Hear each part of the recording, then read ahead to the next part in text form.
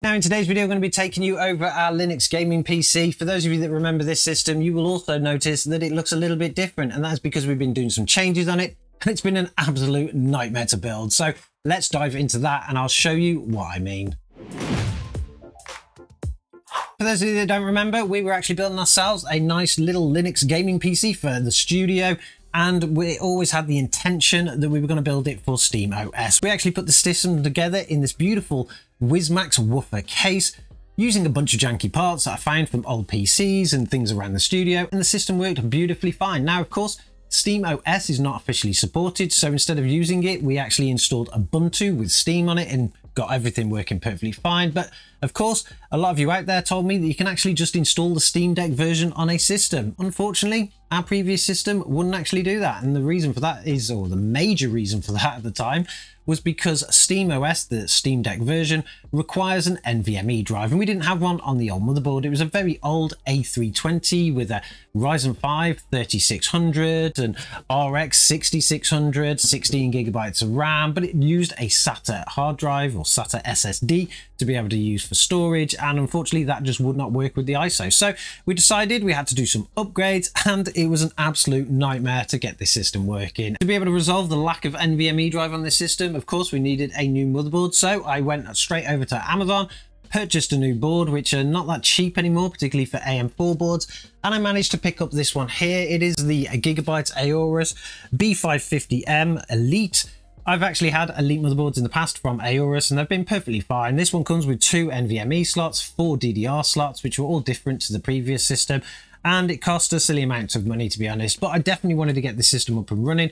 One bonus to it in particular was the fact that the motherboard is much wider than the one that we had before, so we do fill out the case better, which is definitely something that we wanted to do from the previous one. So we were all good to go with a brand new motherboard. The second issue though, which actually caused us a lot of pain, was the fact that this motherboard just simply would not work with the Ryzen 5 3600. It worked with every other Ryzen processor that I had in the studio, even older ones that were not officially supported by it on the website and it worked with some of the faster ones, but it just would not work with the Ryzen 5 3600. I did a little bit of research out there and there was a lot of people that had Aorus boards, not just this one, but others very similar, the ATX boards, where they had the same problem too. So, of course, there is clearly something wrong with the BIOS on these motherboards, even though it is running the latest because I did update it, where it just simply will not run that CPU. So, we had to buy another CPU. I didn't want to use anything even older. So I wanted to get something a little bit newer and something that would actually last us a little bit longer. And for that, I picked up this here. This is the AMD Ryzen 5 5600. I've never actually had one of these before. I've had this 5600X and that was actually a pretty decent CPU. And so far, this one's been really good as well, to be honest. It's a 6-core, 12-thread processor from AMD's AM4 line, and it is probably the latest generation on there, particularly for the Ryzen 5 range. I know that you can get the Ryzen 5 5600X3Ds, or at least you can in some countries, but we can't here. You're kind of stuck with this kind of level stuff, and I thought I would give it a go, and so far, it's been an okay CPU. Of course, that actually worked perfectly fine in this motherboard, just as luck would give it. So we got the system up and running. After we actually worked all that out, of course, we need an NVMe drive as well because we can't reuse the SATA drive. So I thought, why not give everything else an upgrade too? So we reached out to some of our friends at Patriot who have helped provide us with some pretty cool equipment here. For the RAM, they provided us with four sticks of 8 gigabytes of their Viper Steel range that's non-RGB, so it keeps with the aesthetics of the machine. And I think it actually looks much better having the four sticks here, particularly with the extended motherboard compared to the previous version. And for the NVMe drive, they treated us to a 2 terabyte Gen 4 NVMe. Now, of course, that won't work at full speeds on this kind of setup, although it actually would do, to be honest, it would work perfectly fine on here but it gives us plenty more space than the original one terabyte SATA SSD that we had. Uh, which means that I don't have to mess around with partitions and things like that or mounting new drives and stuff like that. So that actually worked out pretty well. So I want to send a big thank you to them for helping get this machine up and running and a much better system overall. It's now running 32 gigabytes of RAM. We've doubled up our SSD storage. So everything is looking good there too. Unfortunately, once we'd actually mounted that into the system, we got it all hooked up. We couldn't then install the radiator that we've got here, the Cooler Master 240 millimeter all-in-one into the top. That's where it originally was. We had to remove the rear fan because it simply would not fit. It kept hitting the motherboard itself. So we had to relocate that then to the front. And because we have this extra one big fan in the front here, which is actually mounted to the front of the case, not the paneling behind, this one is acting as one of the fans for the cooler and we've installed another Arctic fan on the bottom to kind of fill up the radiator and make sure that we get a lot of airflow through. Unfortunately, that does mean that only one fan is working off the motherboard header and changing speeds because this one here is a static fan that just provides air into the system. But so far, it's actually kept everything nice and cool, particularly with that 5600 processor, which is only a 65 watt anyway. So that's not a big issue, but it did mean we have to fit it up the front here and it kind of is a little bit more hidden but that did mean then we can actually get a rear fan in the back. So everything now is starting to look good. We've got the system together. We've got the cooler in not ideal location but it works everything mounts up perfectly fine the system actually runs and the next thing that decided to just stop working altogether on me was the power supply originally we were using a cooler master MWE 550 watt gold power supply. It was a fully modular unit that I bought many years ago that I kind of found in a box and it decided to stop working. Completely stopped working. I tried it on multiple systems. It just would not provide any power to anything. So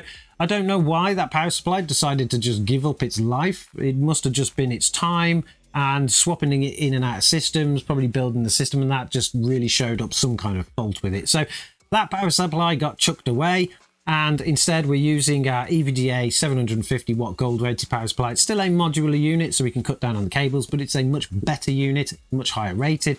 And also it's a much cleaner cable management. We can actually get separate connections out for our graphics card now. So we don't have all the pigtails that we're getting stuck in the fans and stuff. So overall, it's a much cleaner build. It's just something that we had to do. We, of course, are only keeping the two parts on this whole system well, three parts altogether. We're keeping the cooler, we're keeping the case, and of course the graphics card as well. This is the RX 6600 8GB, and I really do love this graphics card. It's super silent. It plays all the modern games to a fashion. You have to adjust some kind of settings, but it is perfect for a Linux build because AMD just generally works better with Linux. Even if you install Ubuntu on these systems, it will pick up near enough the latest drivers and you're going to get away with playing games perfectly fine. So that, of course, is going to be staying with the system too.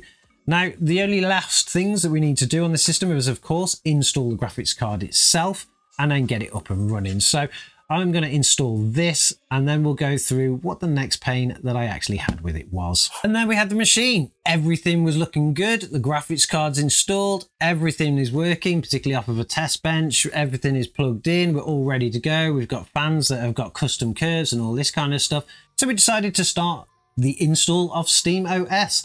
I went and downloaded the latest Steam Deck version on ISO, burnt it to a USB stick just as you normally would, threw it in the machine, and absolutely nothing happened. It had the exact same effect as the previous system where it's just some kind of incompatibility with the hardware. There's a lot of people out there that will tell you to install the Steam Deck version and there's a lot of videos out there with people showing you how to do it. But unfortunately, there is also even more people out there that are getting more issues and commenting on those videos and things because they simply cannot get it to work. And the reason for that is because the Steam Deck version of Steam OS is a very cut down lightweight thing. It's not officially supporting of desktop PCs because they've really cut it down to work on a Steam Deck. Hopefully one day they will actually produce a proper desktop version that we can get again, which they used to do for the version 2, but for version 3, you're just stuck with the Steam Deck version. And you have to have some real good luck to be able to get it to work, particularly with the hardware that you've got inside.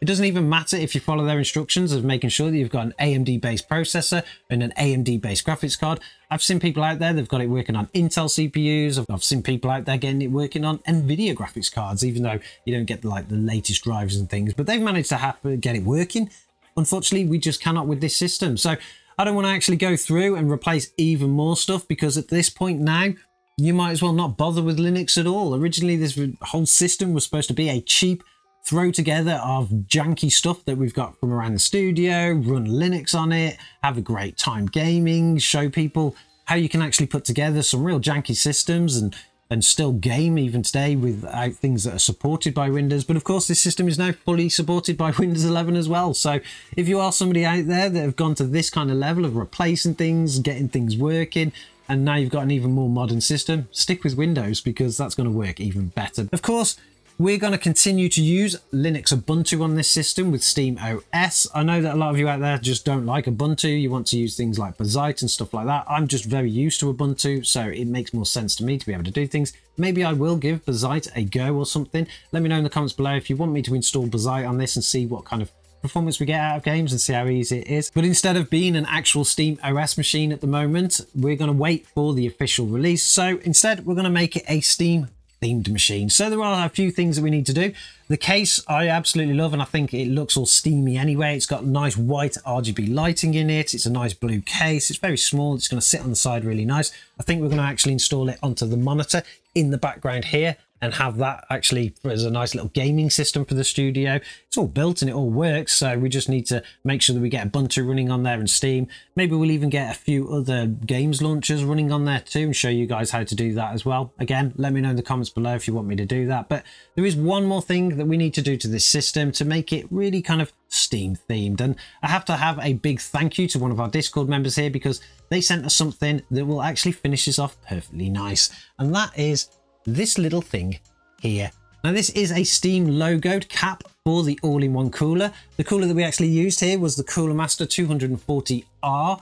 That is an all-in-one cooler that has RGB in the cap here, but you can always pop off the cover and they give you kind of 3D print files to be able to print your own. And one of our great community members actually printed us one with a Steam logo. So of course we need to get that installed into the system. Have to make sure that we get it the right way. I'm not 100% sure which way it goes around, but all you do is you just push it onto the front and squeeze it in and that looks absolutely amazing i would like to actually add some more things into this case at some point that actually have some maybe steam logos get a nice little steam powered kind of sticker on it somewhere i'm not sure sure again let me know in the comments below what you think I can actually do to this. Maybe we'll get some cable extensions, finish it off nicely. But for now, I think that little cut cap there, which is going to shine the light through of the Steam logo, looks absolutely brilliant. And there we have it. This is a little bit of a video to just take you through some of the pains that we had while building our Linux gaming PC. And to be honest, Linux wasn't even the biggest problem. Steam OS was a little bit of a problem, but installing Ubuntu on this machine is absolutely no issue at all. I know it works perfectly fine installing Steam on top of that and all the extras that you need, like the overlays and stuff like that, are very single commanded to be able to get things running. Using an AMD graphics card, drivers are beautifully fine on Linux, particularly on Ubuntu. I'm pretty sure when you actually install Ubuntu, you get nearly the latest AMD graphics drivers or the Mesa ones for the RX 6600 and it only takes like one command on the terminal to be able to upgrade that to the latest anyway. We're now going to get this system installed onto the desk over here and we're going to get some gaming on our nice ultra wide screen. You'll probably see that going forward. Is there any games that you want me to actually test on this system? with of course the limitations in the hardware that we've got here. I think it's actually a pretty decent spec with the 6 core 12 thread processor on the Ryzen uh, well, the AM4 platforms, Ryzen 5000 series, still pretty decent today. Loads of people still use them. The RX 6600 could probably do with an upgrade at some point, but for now, it's going to actually get us gaming and playing some pretty decent games, particularly on Linux anyway. So I think that's what we're going to do next with it, and we'll probably do some more modifications to the case at some point. I really do want to kind of just hack things and get things working. Might, might, might actually get some cable um, extensions here, but I'm not sure what colour yet. Originally I was going to look for maybe something in a white, but it doesn't really go with the rest of the theme. And I can't find this, this kind of like a baby blue case. I can't really find that blue at the moment with those cable extensions. So maybe I need to have some custom made. But anyway, this is our little Linux gaming PC. It has been a nightmare to build. It's cost us a lot more money than originally was supposed to intended to, but it's it's it's actually a pretty decent system now, so we can get away with that. Don't forget to subscribe to the channel if you like this kind of content and you want to see where we take our little Linux gaming PC next, to see what kind of versions we get on there. Maybe I will try Bazzite and we'll do a video on that if you guys want to watch it. And I'm sure as always, I'll catch you guys in the next one.